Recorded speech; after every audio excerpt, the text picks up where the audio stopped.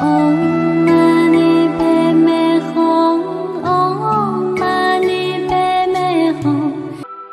văn Do các chúng sinh bỏ quên tánh bản minh này, tuy trọn ngày mình sử dụng nó mà chẳng tự biết, nên bị trôi lăn quan uổng trong các cõi. Giảng Do các chúng sinh bỏ quên tánh bản minh này, chúng sinh dường như bỏ quên thể tánh thường trụ thanh tịnh sáng suốt của chân tâm. Nhưng thật sự chân tâm không mất. Tuy trọn ngày mình sử dụng mà chẳng tự biết. Chúng sinh sống trong thể tánh thanh tịnh, trong chân tâm thường trú hàng ngày, bởi vì vọng tưởng vốn xuất phát từ chân tâm. Đó chính là tâm phan duyên lưu xuất từ một niệm sinh khởi từ vô thủy. Tất cả mọi hiện tượng đều chỉ là sự biểu hiện từ chân tâm và niệm khởi này theo sát quý vị từ sáng đến tối, nhưng quý vị không thể nào nhận biết được niệm ấy. Quý vị chỉ biết làm thế nào để vận dụng tâm vọng tưởng của mình mà thôi. Chân tâm đều biểu hiện qua tánh thấy, tánh nghe, tánh ngửi, tánh nếm, tánh biết. Có người từng hỏi, Phật tánh là gì?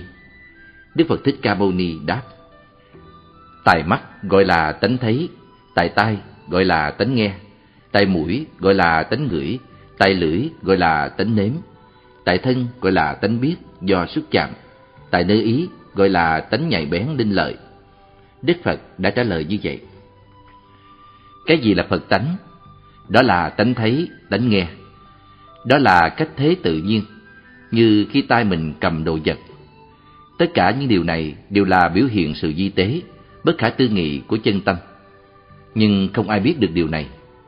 Bây giờ A Nan vẫn còn mê mờ, thế nên Đức Phật dùng rất nhiều cách ví dụ để giảng giải cho A Nan. Nên bị trôi lăn quan uổng trong các cõi. Vì chúng sinh mãi chấp cứng vào tâm phan duyên, nên phải trôi lăn vào trong các cõi mà chẳng biết những nghiệp mình tạo ra hàng ngày. Nơi thọ sanh là nơi mà quý vị mong mỏi nhắm đến. Quý vị đi thẳng một mạch đến đó, rồi quý vị sẽ kết thúc đời mình ở nơi đâu? Ở trong các cõi. Đó là trong sáu nẻo luân hồi, có ba cảnh giới lành là cõi trời, Atula và cõi người.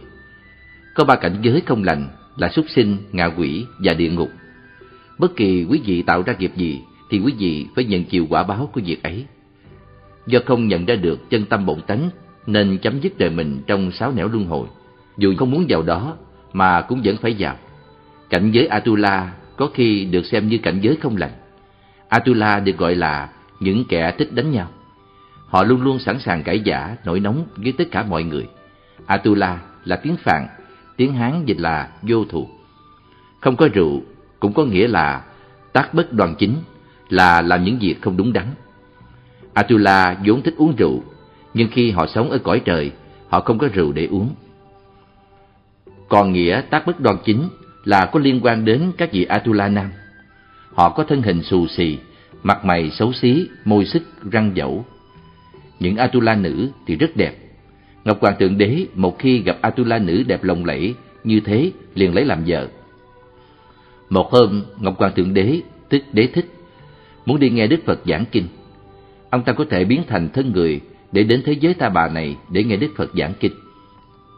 Nhưng bà vợ Atula đanh đá chua ngoa của ông ta lại nổi cơn ghen. Ông chỉ được đến đó mỗi một ngày thôi. Chẳng biết loài yêu mị hay hồ ly tinh nào đã hớp hồn ông.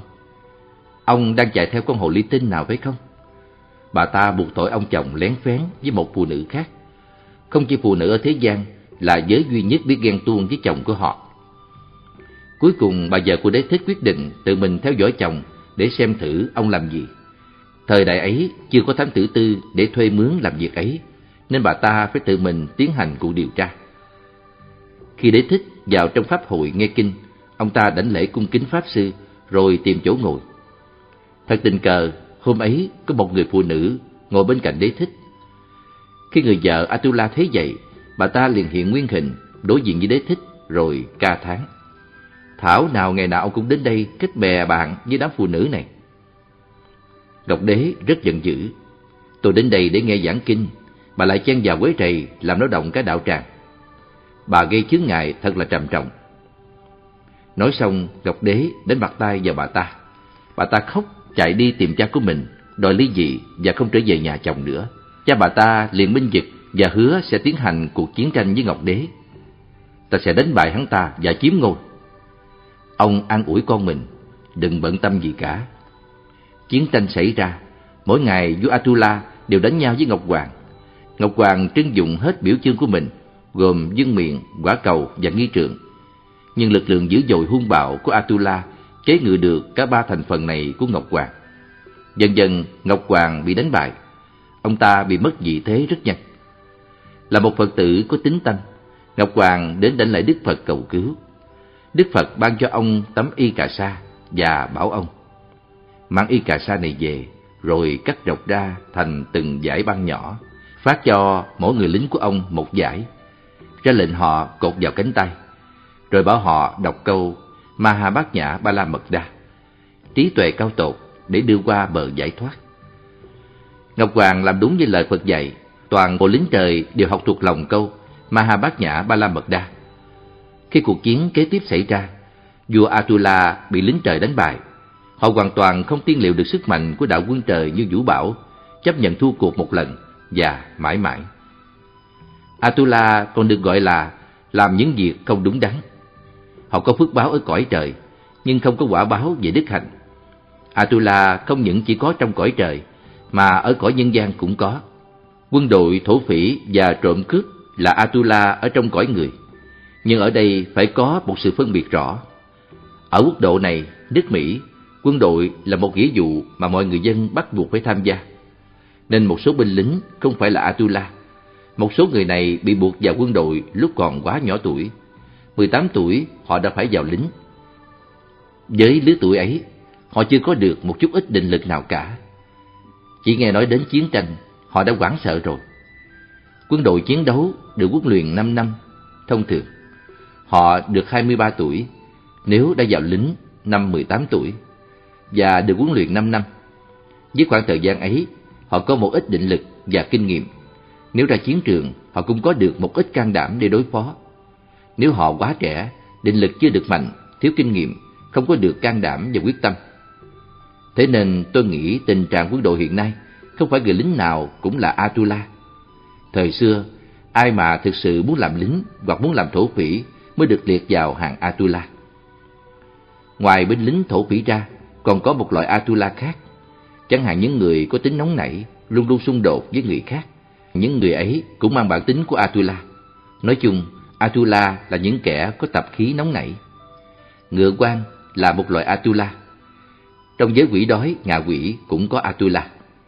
Phần nhiều chúng sinh phải đọa vào bốn đường ác này. Đây chính là ý chính của đoạn kinh văn này. Một số chúng sinh không quên mất chân tánh của mình, nên sinh lại trong loài người hay loài trời. Nhưng đó vẫn là trôi lăn vào trong các cõi mà không hề biết. Nghĩa là quý vị đã chọn làm đường mà không biết.